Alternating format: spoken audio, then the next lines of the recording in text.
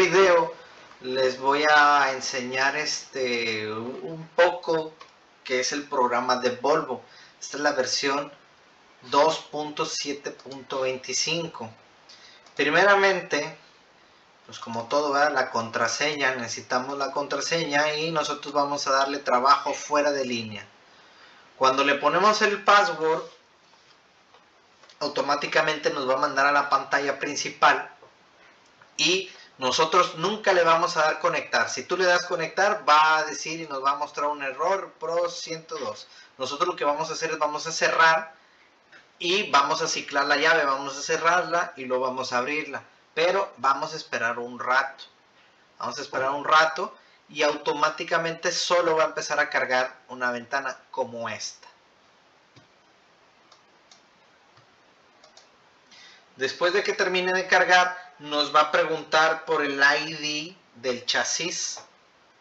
Nos va a preguntar si estamos escogiendo el ID bien. A veces puede haber errores de comunicación y el ID sale incorrecto. En este caso, nosotros le vamos a dar OK. Cuando nosotros ya le damos OK, va a tardar un poco más.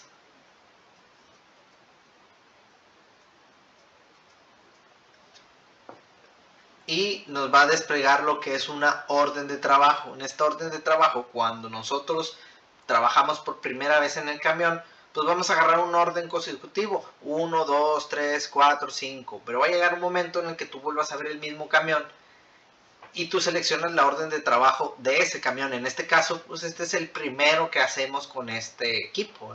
Nosotros le damos aquí iniciar trabajo.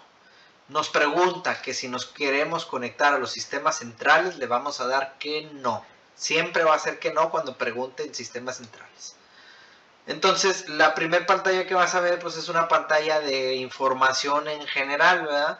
nos da la serie, el chasis, qué tipo de compañía es, el motor, el millaje, las emisiones, OBD2 2013, US10, el sistema eléctrico, BMAC 4, nos da el nivel de batería, nos da que si tenemos códigos activos. Aquí en este caso, pues si no nos está marcando. Hay dos maneras de ir a los códigos activos, picándole clic aquí o picándonos acá en diagnosticar.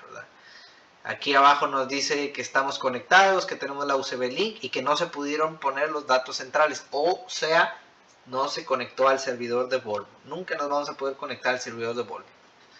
Entonces, pues para hacerlo más rápido, en vez de irnos acá, nosotros vamos a esta sección de TC códigos activos y nos va a empezar a cargar la sección donde están todos los códigos.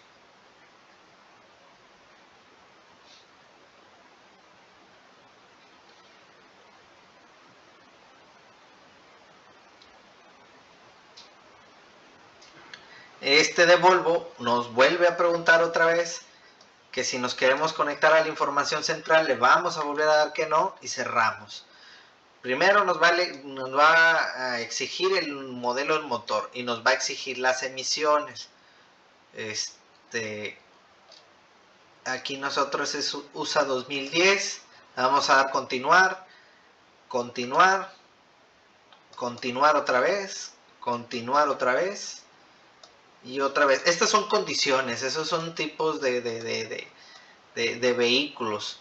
A veces pues, es muy, muy requisitoso Volvo para poder identificar un vehículo como es. Entonces yo solo le estoy dando continuar para que me arroje los datos generales.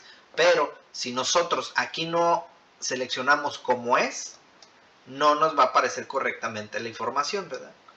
Continuar Selecciona los síntomas, monitor, arranque. Aquí te, es que no, no arranca, no prende. Aquí nosotros le damos continuar otra vez. Y aquí nos va a mandar los códigos. Primero, unidad de control. ¿Qué significa esto? Frenos, Engine Control Mode, SM. Más abajo, Gear Selector. Más abajo, radio, display. Más abajo, transmisión. Entonces, pues aquí nos da una descripción básica y aquí un estatus activo o inactivo. Aquí, por ejemplo, tiene códigos de radio y tiene una falla y un, control del circuito. Aquí nosotros la seleccionamos y le damos aquí más y nos da algo de información. y aquí seleccionamos y también nos da más información. Cuando nosotros queremos ver la resolución de partes, vamos a seleccionar y le vamos a dar continuar. Y nos va a desplegar, si tiene gráficos, de este lado nos va a desplegar el gráfico donde se encuentra la pieza que tenemos de revisar. Aquí nos despliega información del producto y acá abajo nos, nos, nos despliega qué es lo que tenemos que utilizar para poder este, resolver la falla, ¿verdad?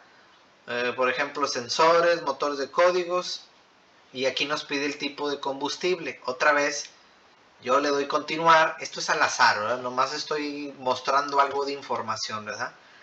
Aquí ya no selecciono el circuito del, este, del sensor del aceite y le vamos a dar iniciar. Y en este iniciar es donde ya nos, nos, nos manda a un asistente que nos dice, ¿sabes de qué? Reemplaza el sensor. Y aquí nos pregunta, ¿se reemplazó el sistema de sensor? Sí, no. Yo le voy a dar que sí. Continuar. Y luego después nos otra vez nos vuelve a pedir información del motor. Continuar otra vez. Y aquí nos dice la localización del sensor y aquí nos da instrucciones de diagnóstico. Primero nos dice revisar el conector, después es el arnés, después el nivel de sensor, después el SM. Acá lo deja al último porque según en el orden de, las, de la revisión, este, pues ya puede ser que el SM esté malo y no esté detectando el, el, sensor, ¿verdad? Y aquí pues nos da una instrucción que verifiquemos, que inspeccionemos, que nos aseguremos, que revisemos. O sea, nos da ahí cómo resolverlo, ¿verdad? En este caso estoy revisando el conector, ¿verdad? Ya al último nos vamos al SM y este dice, no es posible probar el módulo cuando existe una falla activa. Si el rastreo de fallas no encontró ningún error, el módulo puede ser la causa de la falla ya aquí pues, realmente el programa no te, no te dice, así reparas el módulo, el, el, programa simplemente te pide que reemplaces el módulo por uno nuevo. Y pues esta es la sección de códigos, ¿verdad? Aquí hay una sección de pruebas, una sección de calibración, una sección de programación. Por ejemplo, programación. Aquí nosotros le damos en clic para que lea los datos de la programación. Y cuando termina de leer los datos, pues me voy a algo sencillito. Lo que todo mundo quiere a veces, que es cambiar el límite de velocidad de un vehículo.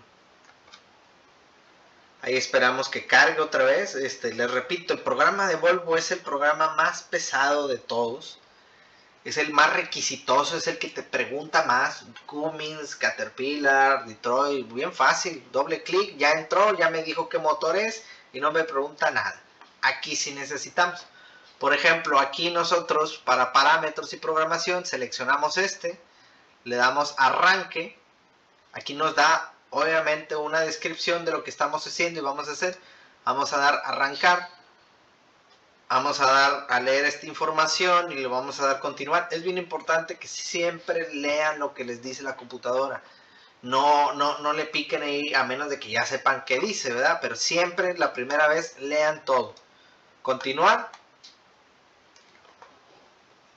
y nos pide algunas condiciones, ¿verdad? ahí va a revisar la batería, va a revisar el packing, va a revisar que si está la llave on, pero el motor no funcionando. Entonces ya checa las condiciones, después de que me da las condiciones, me da continuar aquí en este botón. Si no las cumplimos o si el botón el motor está encendido o algo, pues nunca nos va a dar continuar. O si la pila la tiene a 10 voltios y lo que necesitamos es 12.4. Entonces le damos continuar y ya nos va a desplegar un listado de todos los parámetros que nosotros podemos este, cambiar. Como es el programa más pesado, siempre de repente da algún detalle, ¿verdad? Pérdida de comunicación o pérdida de, datos del, del vehículo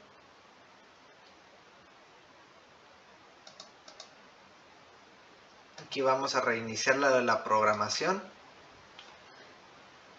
Vamos a cerrar y otra vez abrir.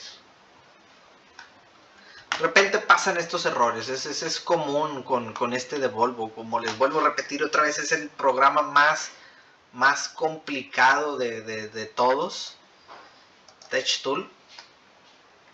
Y a veces, nomás por tantito que pierda la comunicación, hoy el programa detectó un error, se cerró.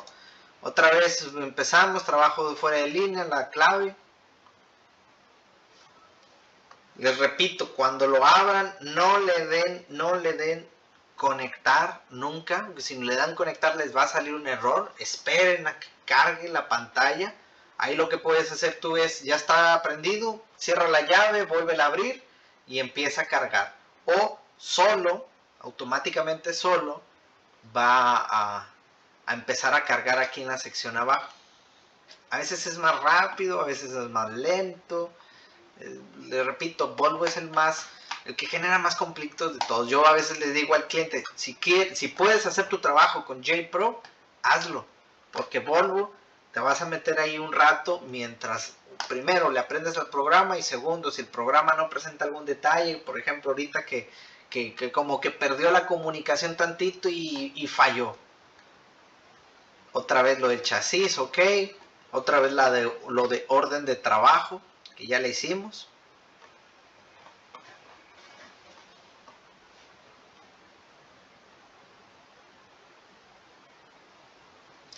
Otra vez la seleccionamos, número uno, y iniciar orden de trabajo, sistemas centrales no. Y esperamos a que nos salga lo de programar. Ahora sí vamos a programar.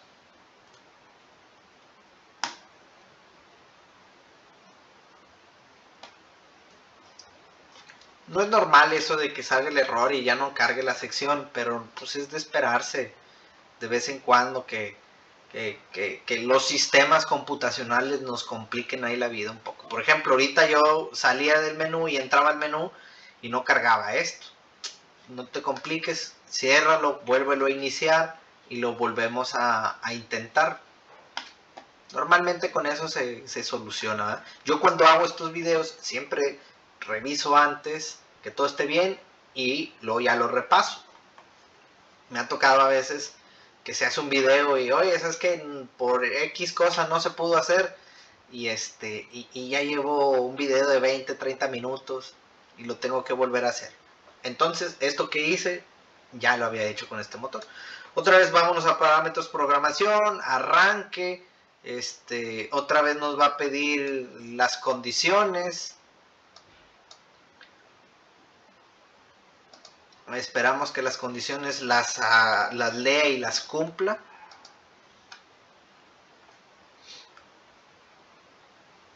Continuar. Y en estas secciones lo que le digo, les va a salir un listado de todos los parámetros que nosotros podemos cambiar. Esperamos un rato a que los cargue. Y pues podemos cambiar todo, exactamente todo. Ahorita lo que vamos a hacer, pues les digo, es lo más básico, que es la velocidad.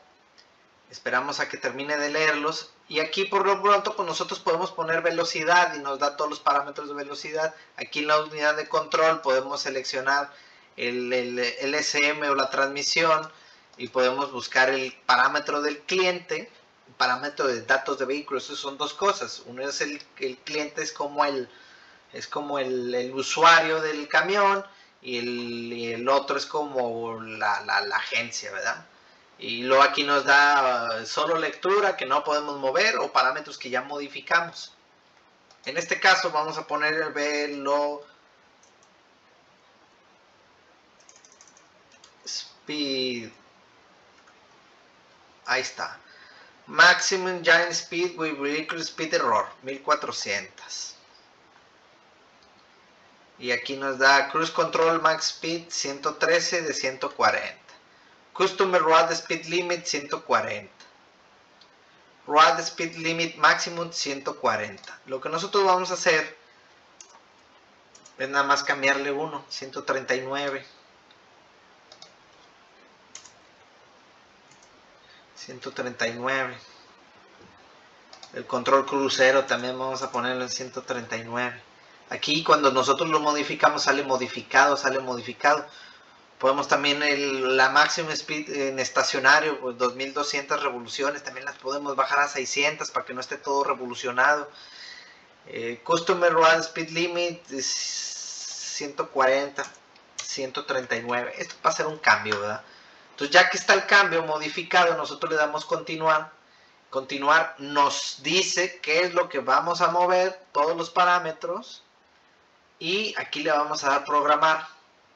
Ojo, el original es 140 y el nuevo 139. Nosotros le vamos a dar programar. Vamos a esperar un momento. Inclusive acá arriba te puede aparecer como no responde. Ahí, se, ahí está como no respondiendo. Ahí la dejas. La esperas tantito. Cuando termina te regresa a la pantalla anterior. Entonces nosotros corroboramos speed. Valor 139, 139, 139, 139 ya hizo el cambio. En esta sección de pruebas, pues nosotros podemos hacer todos los valores de diagnóstico. Ah, ojo, antes siempre nos dice esta advertencia que hay una operación de ejecución, debe de salir antes de expresar otra. O sea, aquí le damos salir. Ahora, nos vamos a prueba y nos va a mandar todas las listas de pruebas que se le pueden hacer a este motor. Este, el cliente en este vehículo quería programar la velocidad y aparte quiere hacer la calibración de la transmisión. Ojo, es muy importante siempre leer las condiciones. En la, condición de la calibración de la transmisión te pide que, lo revises todo bien. Si no, puede tener algún daño el motor. Eh, repito, el de Volvo es uno de los programas más pesados y pues tienes que esperarlo un poquito, pasando de una sección a otra o haciendo un parámetro o haciendo un detalle, siempre tienes que esperarlo. Ahí por ejemplo estamos en prueba y está cargando. Aquí en diagnosticar pues ya lo vimos, que es lo de los códigos. Aquí ya en las pruebas pues hay pruebas para motor, este, que nosotros podemos ir compresión de cilindro, eh, le damos arranque, este, nos va a pedir ahí condiciones y nos va a dar una descripción de lo que es esta prueba, ¿va? No la voy a ejecutar, solo la estoy mostrando como general para que este,